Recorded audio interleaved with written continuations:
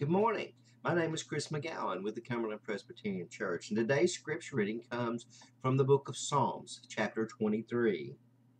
The Lord is my shepherd, I shall not want. He makes me to lie down in green pastures. He leads me beside still waters.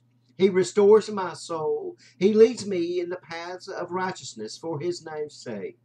Even though I walk through the valley of the shadow of death, I will fear no evil, for you are with me. Your rod and your staff, they comfort me. You prepare a table before me in the presence of my enemies. You anoint my head with oil, my cup overflows. Surely goodness and mercy shall follow me all the days of my life. This ends today's reading of God's Word. Praise be to God, and may the peace of Christ go with you.